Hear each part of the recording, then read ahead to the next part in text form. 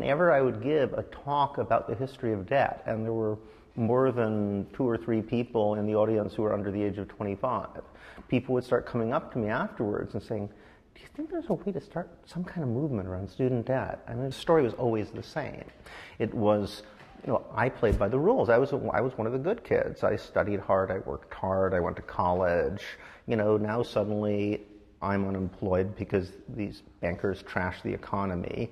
And the upshot is I owe them $40,000. You know, they got bailed out. I'm going to be told I'm a, I'm a deadbeat loser for the rest of my life and I did something wrong. I mean, this is completely wrong. But students, like anybody else who's taken out a legal loan with a contract, is under an obligation to pay it back. Yeah. Well, don't you take that seriously? I think that um, AIG took out a lot of contracts. They didn't take them seriously when AIG was threatened.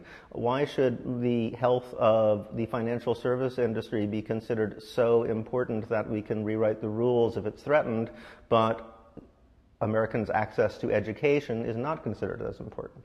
Well, it's a moral issue. A corporation is not a person. If you look at history, what you find is that a loan is just a promise.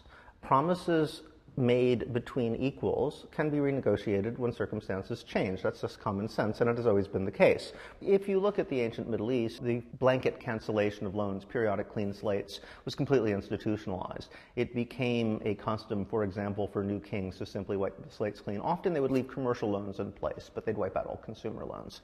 Um, of course, the biblical Jubilee institutionalized the same idea every seven to 49 years. Every seven and 49 years. And what happened? All loans would be considered null and void. All people who were debt peons would be released. Debt peons? Well, part of the problem was that they would not just repossess your lands um, and your flocks, but eventually members of your family. So that very large percentage of the population were effectively working in debt peonage. Um, they were taken away by creditors as, you know, as the equivalent of wage laborers, put to work as a shepherd in their shop, something as a domestic servant. In fact, um, there are many who say that the um, famous commandment, you shouldn't covet your neighbor's wife or ox, is not actually speaking of um, lusting in your heart. It's actually speaking of taking them away as debt peons. So to you, it's obvious that not only is someone not reneging on a moral obligation by not paying back their loan, but in fact, it's historically grounded.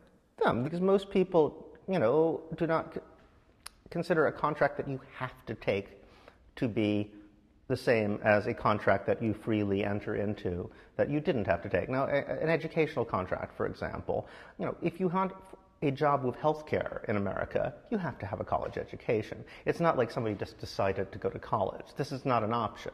If you want a, any sort of reasonable social security at this point, you have to have a college education, and therefore you have to take out a loan. Unless you have. Unless you happen to be rich unless you get a scholarship.